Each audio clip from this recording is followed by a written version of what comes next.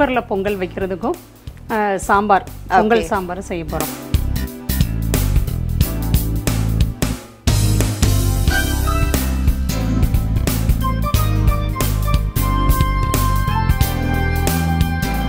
Awesome ma'am ரொம்ப பிரமாதமா இருக்கு.